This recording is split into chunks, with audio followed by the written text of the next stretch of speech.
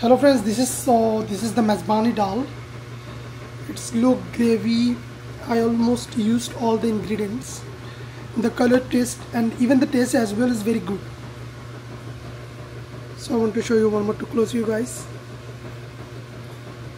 And uh, so this is the Mezbani dal. And uh, if you want to look some you know from you can see ingredients test. So that's all about this Mezbani dal thank you so much